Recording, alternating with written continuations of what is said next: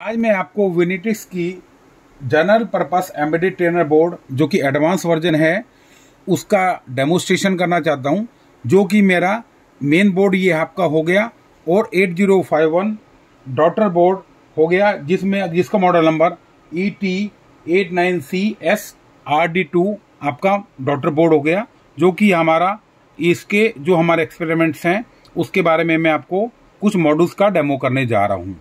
सबसे पहले मैंने क्या किया, इसका जो सॉफ्टवेयर है, जो प्रोगा एस है, जो कि इसके साथ कंप्यूटर से इंटरफेस होगा विद द हेल्प ऑफ़ आपका यूएसबी केबल्स है, जो हम इसके साथ प्रोवाइड करेंगे, ये मैंने इसको, इसके साथ इंसर्ट कर दिया है। तो आप देखेंगे इसमें यूएसबी के थ्रू पावर आ गई है, और मैंने पावर ऑन कर दी है। अब मैं इसका प्रोग एसपी सॉफ्टवेयर अगर जैसे ही आपका एनेबल करता हूँ तो आप देखोगे यहाँ पे एनेबल आपका प्रोग एस आ गया। अगर मैं इसको डिस्कनेक्ट करूँगा तो आप देखोगे ये डिसेबल हो जाएगा। इसका मतलब आपका कंप्यूटर और इसके बीच में डॉटर बोर्ड के इसमें लिंक हो गया है। सबसे पहले मैं आपको इसमें जो मेरा मॉड्यूल्स है, वो आपका ग्राफिकल एलसीडी का करूँगा। तो जैसे मैंने इसमें क्या लोड फ़ाइल करूँगा तो मैंने इसके अंदर हमने एग्ज़ाम्पल दिए हैं। तो आप देखोगे ग्राफिकल एलसीडी का प्रोग्राम जैसी मैं इसमें ऑटो में जैसी करता हूँ। तो आप देखोगे मेरे को प्रोग्राम इन सर्किट में प्रोग्रामिंग के लिए ये मेरे को नीचे करना पड़ेगा। जैसे मैं इसको ऑटो करता हूँ तो आप देखेंगे ऑटो जैसे मैं करता हूँ तो आप इसमें क्या, ये आपका प्रोग्रामिंग फ्लैश मोड पे चल जाएगा और आप एलईडी देखोगे तो ये आपका प्रोग्रामिंग मोड पे आपका चला गया है। जिससे कि ये हैक्स फ़ाइल कंप्यूटर से इस माइक्रो कंट्रोलर के अंदर आ रही है और उसको प्रोग्राम करने के बाद ये आपका, आप देखोगे हाँ मैंने वेरीफाई करेगा इस प्रोग्राम को कि वेरीफाई हो गया है या नहीं हो गया है। उसके अकॉर्डिंगली आप देखोगे तो ये आपकी प्रोग्रामिंग बार आपकी चल रही है। जैसे अभी प्रोग्रामिंग हो रही है उसके बाद जब प्रोग्रामिंग हो जाएगी तो आप इसको ये हमने वेरीफाई फ्लैश करेगा कि पर्टिकुलर मेरा इसमें वेरीफाई ये प्रोग्राम इससे बफर से करेगा। उसके बाद हम क्या करेंगे, जब ये प्रोग्रामिंग मोड हो जाएगा और वेरीफाई हो जाएगा तो उसमें हमने क्या करेंगे, हमने प्रोग्राम मोड में ये नीचे जंपर रखा है, क्योंकि प्रोग्राम मोड पे होगा। इसी प्रोग्राम को मेरे को एनेबल करना है ग्राफिकल एलसीडी में। तो आप देखोगे ये रेडी हो गया है। अब मैंने क्या करा, इसका मतलब ये रेडी आपका हो गया, ये प्रोग्राम आपके इसके अंदर आ गया है। अब मैंने क्या करा, इसमें मैंने केबल्स लगाई है, जो कि इसमें आप देखेंगे, दो मैंने पिन आउट दिए हैं, जो कि माइक्रो कंट्रोल के साथ लग रहा है, और इस इस जंपर को मैं ऊपर करूँगा, क्योंकि ये मेरे को प्रोग्राम को आपको एनेबल करना है।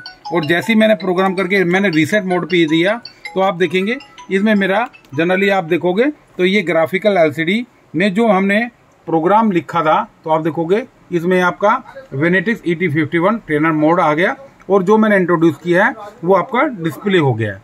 तो इससे क्या है, मैंने क्या करा, इस डॉटर बोर्ड से ग्राफिकल एलसीडी का इंटरफेस किया है। तो मैं अब नेक्स्ट आपको मॉड्यूल्स बताऊँगा। मेरा मॉड्यूल है 16 इंटू टू की एलसीडी डिस्प्ले इंटरफेस कराऊं, जो कि माइक्रो कंट्रोलर के साथ है। तो सेम मैंने प्रोसीजर वही करा लोड फ्लैश करा और एलसीडी डॉट हेक्स की फ़ाइल इसमें डाउनलोड करी है, जैसे मैंने पहले आपको बताया था ये एलसीडी डॉट हेक्स की। उसके बाद जैसे ही मेरा ये प्रोग्राम फिक्स हो जाएगा, इसको मेरे को प्रोग्राम करने के बाद, इसको एग्जीक्यूट करने के लिए मैंने क्या करा, ये जंपर्स अप एंड डाउन करे हैं क्योंकि इस प्रोग्राम को मेरे को उसमें जाना। हमने मैनुअल्स में इसमें कनेक्शन दिए हैं तो इसी माइक्रो कंट्रोलर के इससे पिन आउट दूँगा तो आप देखेंगे, ये मेरे को वन नंबर पिन का ध्यान रखना है, और इसमें आपको इंसर्ट करना है एलसीडी मॉड्यूल्स के बारे में। जैसे मैंने इसको यहाँ से रीसेट किया तो आप देखेंगे यहाँ पे Vinytics E T fifteen L trainers display हो गया क्योंकि मैंने प्रोग्राम में Vinytics E T fifty one L trainer को डिस्प्ले कराने के लिए ये दिया था। तो इसकी सहायता से आप एलसीडी डिस्प्ले इंटरफेस कर सकते हैं with the help of daughter board and main board start अब मैं आपको एडीसी ज़ीरो इंटरफेस करने जा रहा हूँ माइक्रो कंट्रोलर के साथ। तो मैंने same with the help of इस सॉफ्टवेयर की तरफ़ से लोड करा प्रोग्राम हेक्स के नाम से।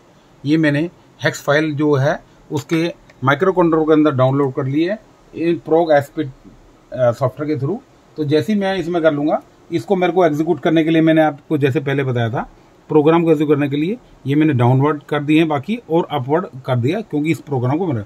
इसके हिसाब से मैंने क्या है एलसीडी में डिस्प्ले कराने के लिए दो दो कनेक्टिंग लगाई है सिग्नल केबल और एलसीडी के साथ साथ मैंने एडीसी के साथ जो हम यूज़ कर रहे हैं लाइन तो ये मैंने दोनों केबलें लगाई हैं जो हमने मैनुअल्स में दी है।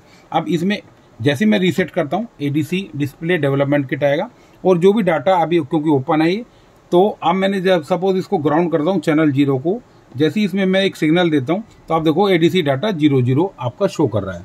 अगर मैंने इसमें फाइव वोट अगर इंसर्ट करा है एनालॉग टू डिजिटल में तो आप देखोगे तो ये आपका जैसे मैंने फाइव वोल्ट से इसको इसमें लगाया तो आप देखोगे एफ़ एफ़ शो कर रहा है, क्योंकि इसमें फाइव वोल्ट मैंने इसमें आपका डाटा शो करा है।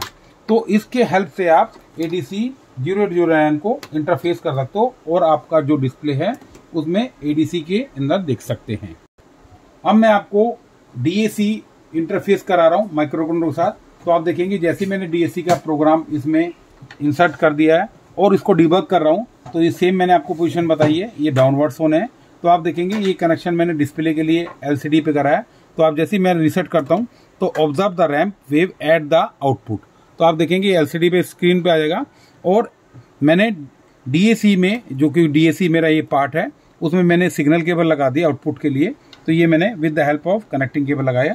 तो मैंने सीआरओ की हेल्प से, अगर आप देखोगे, जैसे ही मैंने ग्राउंड लगाया, और इसको आप देखोगे तो आप देखोगे with the help of DSO तो आप देखोगे मेरा रैम्प जनरेट हो जाता है, जिससे कि ये मेरा ऑब्ज़र्व हो रहा है with the help of DSO जिससे कि मेरा डीएसी वर्किंग कर रहा है, क्योंकि मैंने प्रोग्राम रैम्प का प्रोग्राम लिखा है, और मैंने जो इंटरफेस करा है, जो माइक्रो कंट्रोल से with the help of DAC जो यूज़ कर रहा हूँ, और मैंने वे फॉर्म अचीवमेंट की है।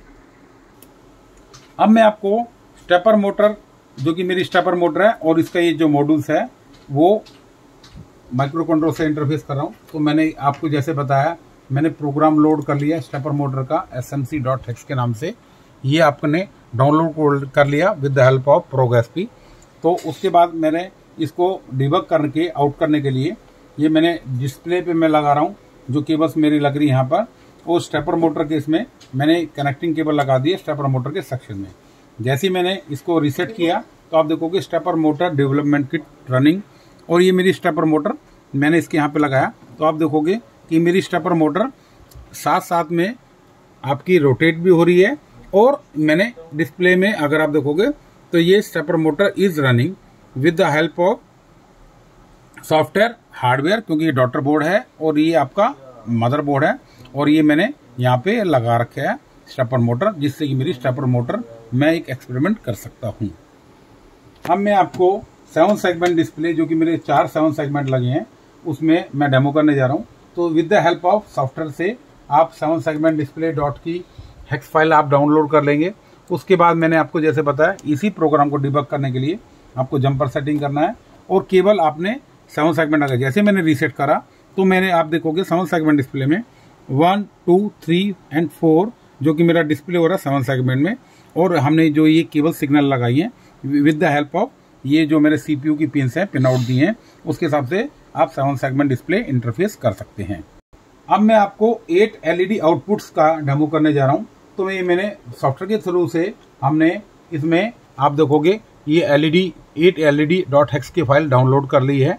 उसके बाद मैंने को, इसको इंट्रोड्यूस करने के लिए ये केबल्स लगाया, जो कि मेरा सी एन फिफ्टीन से आपका ये एट एलईडी आउटपुट पे आप देखोगे, इसमें फाइव फाइव ए मैंने इसमें कराया तो इसमें क्या है अल्टरनेट मेरी एलईडी जलेंगे अगर आप जैसे देख रहे हैं तो इसके हिसाब से ये चला।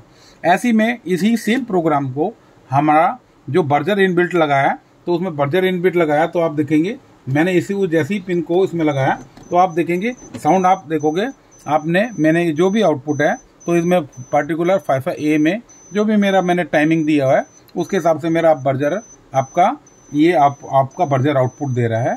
तो इसी हिसाब से आप बर्जर भी इंटरफेस इससे कर सकते हैं। क्योंकि मेरे और भी डिफरेंट टाइप्स के मॉडल्स हैं, जैसे मैट्रिक्स के हैं कीबोर्ड इंटरफेस है, आपका ये रिले है, और रिले है अपटो है, इस तरह से जो भी आप इसमें, इसके हेल्प से आप प्रोग्राम बना सकते हो और एग्जीक्यूट सकते हो, जिस हिसाब से ये मेरा मॉड्यूल्स दिए हैं, उसके हिसाब से आप ये परफॉर्म कर सकते हैं। Thank you very much